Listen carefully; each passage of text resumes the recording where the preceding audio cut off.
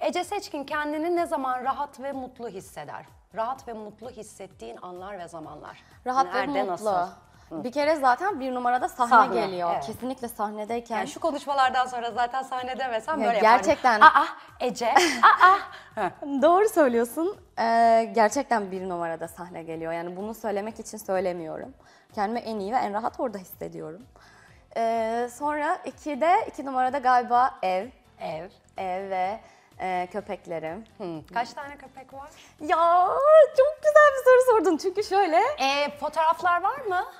Evet ama gösteremem. Nazar değecek diye çok korkuyorum. Tamam, Çünkü peki, bebeğimiz okey. daha 10 günlük. Ha tamam peki. O çok çok minik olduğu için, bu kadarcık olduğu için gerçekten çok Tamam, korkuyorum. tamam. Bir sonraki gelişimde söz Cinsi ne bari getireceğim. Üçü de Yorkshire Terrier. Ha, Ee, şimdi 10 günlük bir bebeğimiz oldu. Mia'mızın kızı Betty. Çok güzel. Ee, Mia da böyle bir işte e, zor bir doğum oldu Mia için. İşte hastanede kalmak zorunda kaldı falan. Ben 10 Heh. gündür her gün hastaneye Mia'yı ziyarete gidip geliyorum. Dün çıktı, dün eve geldi. Kızı Betty de yanında. Gerçekten bak yani o kadar küçük ki şunun şununla şöyle aynı boyda falan bir şey düşünebilirsiniz. Böyle bir bebek. Mini Minicik, minnacık mini bir şey. minnacık, Aynen. Dün akşamdan beri onların başındayım. Böyle onları seyrediyorum.